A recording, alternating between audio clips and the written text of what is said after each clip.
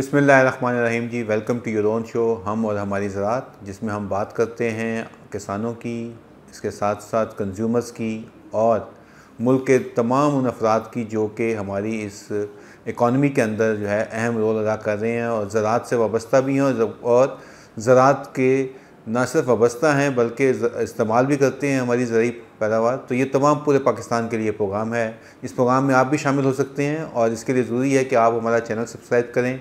Facebook पे इसी तरह से यूट्यूब के ऊपर सब्सक्राइब करेंगे तो आपकी जो इश्यूज़ हैं, आपके जो सवालात हैं, आपकी जो आरा है, वो हम तक आसानी से पहुँच जाएगी। और ये प्लेटफॉर्म हाजिर है आप लोगों के, जैसे आप लोगों के जो मसाइल हैं, उनके हल के लिए। इसके साथ साथ हम किस तरह से मिल के इस मुल्क को बेहतर कर सकते हैं, इसको जो है वो पैदावार और इसके साथ साथ इसकी तरक्की में अहम किरदार अदा कर सकते हैं। तो ये प्रोग्राम आपका है, आपकी खिदमत में हाजिर है ये प्लेटफॉर्म। और इसके ज़रिए हम दीगर जो हमारे किसान हैं, दूसरे मुल्क के जो लोग हैं, उनके लिए भी ये एक इल्म हासिल करने की और इसके साथ साथ जो इन्फॉर्मेशन का दौर है तो इन्फॉर्मेशन आगे बढ़ाने की एक ज़रिया बनना चाहते हैं। तो आज जो तमाम ख़बरें हैं, मेरे ख्याल में वो अच्छी ख़बरें आई हैं, अच्छी ख़बरों को लेकर आगे चलते हैं, अच्छी ख़बरें इस तरह से हैं कि डायरेक्टली या इनडायरेक्टली बात करते हैं। पिछली दफ़ा हमने काफ़ी ज़िक्र किया था कि जी, ज़रात के ऊपर और रियल स्टेट के ऊपर टैक्स लग रहा है, लेकिन वज़ी ख़जाना ने असम्बली में ये ऐलान किया है जी कि ऐसा कोई नया टैक्स नहीं लग रहा। लेकिन नया टैक्स नहीं लग रहा, इसको ज़रा देखना है। ये इसमें बारीकी थोड़ी देखनी पड़ेगी कि क्या मौजूदा जो टैक्स हैं, जो कि आपको पता है कि टैक्सेस तो हैं लेकिन क्या ये फेडरल गवर्नमेंट क्योंकि एग्रीकल्चर जो है वो फेडरल गवर्नमेंट का सब्जेक्ट नहीं है, अठारहवीं तरमीम के बाद। ये सूबाई हुकूमतों का एक, है सिलसिला। और, हुकूमत की जब बात करें तो हुकूमत में और खसूस वजारत ख़जाना में अल्फाज का जो हेरा फेरी कह लें या जो जादू है, वो ज़्यादा चलता है और चीज़ें कागज़ों में कुछ और होती हैं, बोला कुछ और जाता है। इसलिए देखना पड़ेगा कि क्या होता है, लेकिन ये चलें अच्छी बात है कि हुकूमत ने ये अगर कोई इस किस्म की कोई सोच थी तो उसको वापस लिया है, वफाकी हुकूमत ने। लेकिन क्या सूबाई हुकूमतें ऐसा करेंगी? क्या, क्योंकि एग्रीकल्चर दोबारा कहता हूँ एग्रीकल्चर जो है वो किसका सब्जेक्ट है? अठारहवीं तरमीम के बाद सूबों का। सूबे ही उसकी तमाम जो ज़रात से मुंसलिक किसी भी किस्म की टैक्सेशन है, किसी भी किस्म के जो नए सरचार्जेज़ हैं, वो हुकूमत लगा रही है। लेकिन अगर लगाती है तो सूबाई हुकूमत को उसका फ़ायदा होता है सूबाई हुकूमत उसको इम्प्लीमेंट करती है। तो ये एक ज़रा देख, वक्त बताएगा कि क्या, कितनी सच्चाई है। लेकिन जो हमें एफ़ बी आर से और इसके साथ साथ जो ज़राए पता चले थे, उनका हमने ज़िक्र किया था। लेकिन अगर वो हमारा, आपकी वजह से और आपके तावन से हमारी आवाज़ अगर कहीं पहुँची है तो हम उसको खुशाइन समझते हैं और ऐसी सोच को खुश कहते हैं। दूसरे नंबर पे आते हैं जी जो हमें बहुत बड़ी अपॉर्चुनिटी नज़र आ रही है। अभी आपको पता है कि चावल की फ़सल कहीं लग रही है और सिंध में आ, लग चुकी है और सिंध में कुछ ही दिनों में उसकी पहली जो आ, कटाई है वो आ जाएगी। और इसको देखते हुए हमें ये देखना होगा कि इसकी क्या अपॉर्चुनिटी है क्योंकि राइस जो है चावल वो बहुत बड़ी मार्केट है एक्सपोर्ट के लिए। हमारी बहुत एक अहम ज़रिया है डॉलर कमाने का और एक इसमें एक विंडो ओपन हो रही है जिसमें कि ये हुआ है कि भारतीय हुकूमत ने अपने नॉन बासमती चावल की एक्सपोर्ट के ऊपर, यानी कि बरामद, बरामदात के ज़ुमरे में उसको बंद कर दिया है।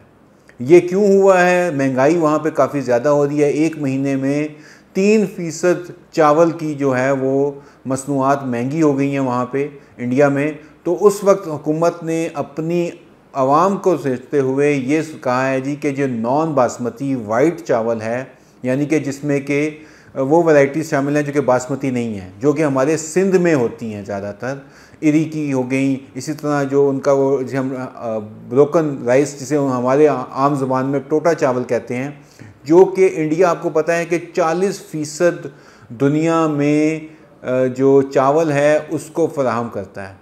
उसकी एक्सपोर्ट 22 मिलियन डॉलर की है और 22 मिलियन डॉलर में से तकरीबन 10 मिलियन डॉलर जो है, वो नॉन बासमती से वो पिछले साल उन्होंने कमाया है।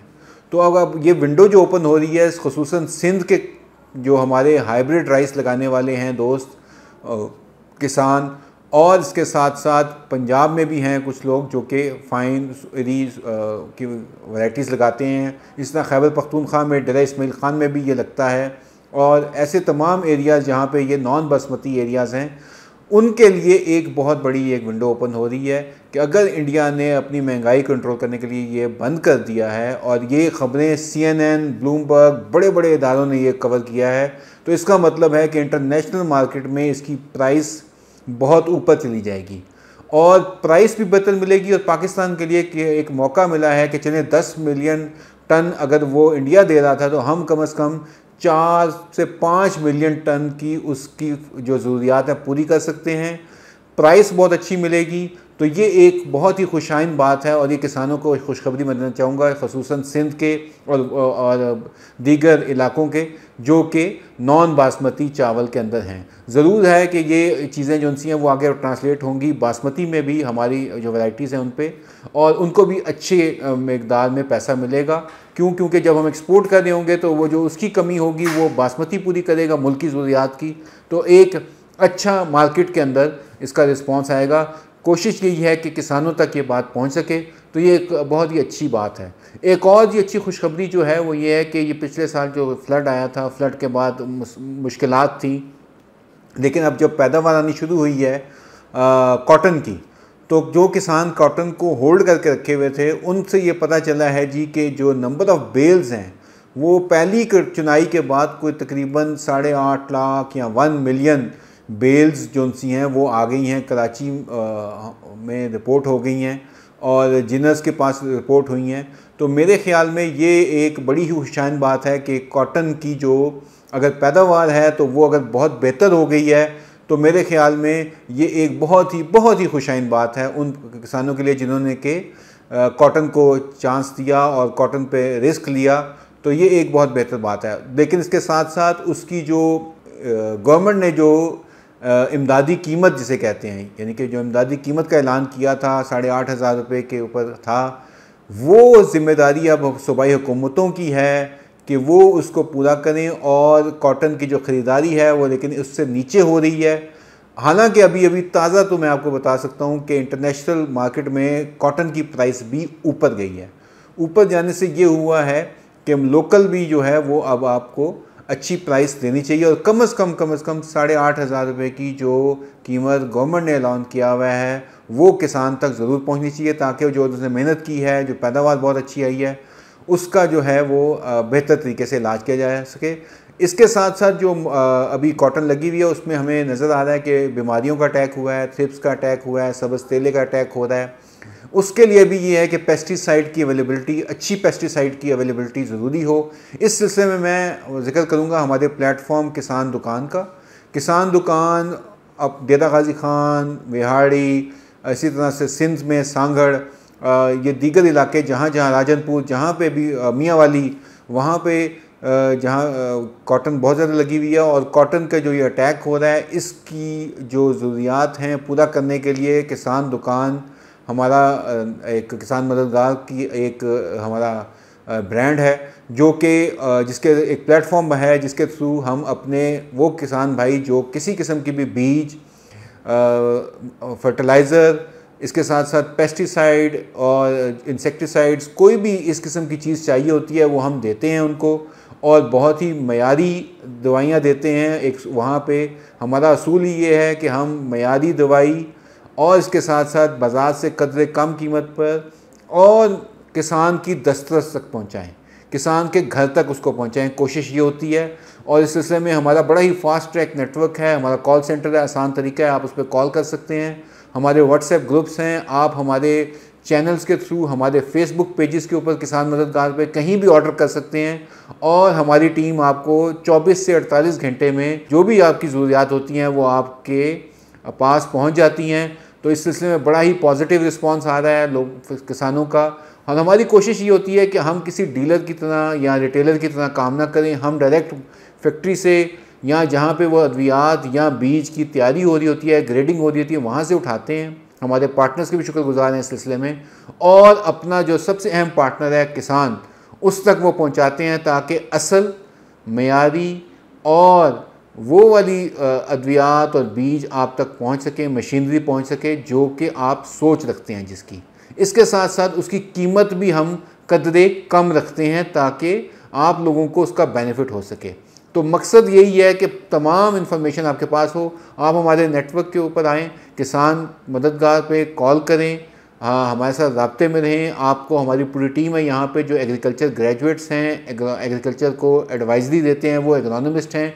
उनकी जो है उनकी जो काबिलियत है, हमारे माहरीन की काबिलियत से फ़ायदा उठाएँ और उतना ही आप अद्वियात का इस्तेमाल करें जितनी की ज़रूरत है। ओवरडोज ना करें। जैसे कि आम दुकानों पे या सुनी सुनाई बातों के ऊपर होता है तो इस सिलसिले में प्लेटफॉर्म हाजिर है हमारा।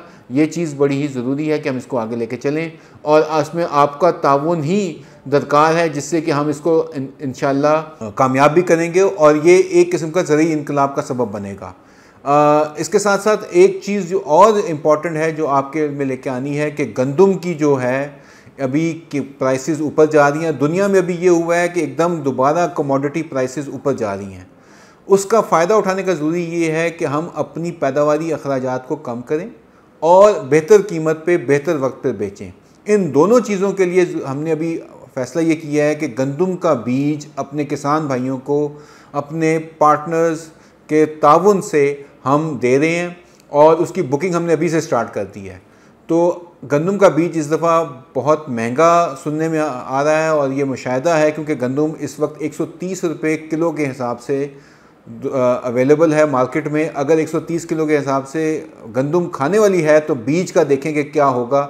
ये 200 से ऊपर जाएगा। लेकिन हमें अपने किसानों का बहुत ही ख्याल है और किसान मददगार का मकसद ही ये है कि किसान की मदद की जाए।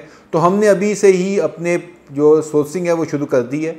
हमने अपना तमाम वैरायटीज़ जो तमाम सूबों की हैं, उसमें अकबर है, दिलकश है नवाब है, इसी तरह एन की वैरायटीज़ हैं, अजरक डेरा है, पीर सबाक है, वो तमाम वैरायटीज़ जो कि मुख्तलिफ़ इलाक़ों में लगाई जाती हैं।